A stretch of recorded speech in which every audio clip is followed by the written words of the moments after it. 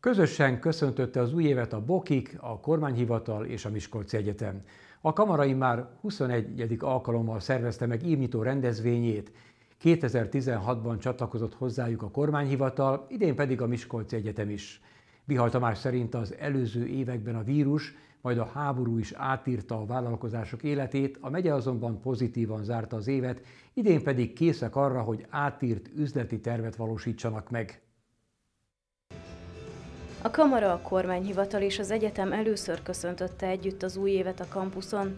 Köszöntőjében Horváth Zita arról beszélt, hogy megítélése szerint nehéz év áll mögöttük, de a külső körülmények arra ösztönzik őket, hogy a saját területén mindenki próbáljon meg mindent megtenni annak érdekében, hogy a helyzet elviselhető legyen, és közösen találjanak kiutat a nehézségekből. A rektor a párbeszéd és a jó kapcsolatok fontosságára hívta fel a figyelmet. Hogy a helyi problémákra csak helyben képzett és itt élő szakemberek tudnak megoldást adni. A mi feladatunk az, hogy valamennyi munkaerőpiaci szektor számára számára képzett szakembert biztosítsunk, és hogyha a vállalatoknak vagy bárkinek a környezetünkben, bármilyen szektorban dolgozom, problémája van, akkor erre még kutatásfejlesztéssel válaszolni tudjunk. Ez pedig anélkül nem mehet, hogy az itt szereplőkkel párbeszédet folytassunk. Az évnyitó rendezvényen a kormányhivatal főispánja úgy fogalmazott, hogy Borsod-Abaúj Zemplén vármegyében szeretik megtartani az ünnepeket, és minden évkezdet egy ünnep számukra. Szükségük van a közösségekre, amely a legfőbb erőforrás a vármegyében. A Lakszai Zoltán az együttműködések fontosságáról is beszélt. Az elmúlt években törekedtem arra, hogy ezeket az együttműködéseket szélesítsük formál, formálisan és tartalmilag egyaránt.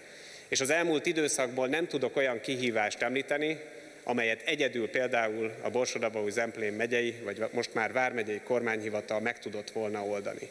Mindenhez szükséges volt az összefogás, és mindenhez szükséges volt az együttműködés.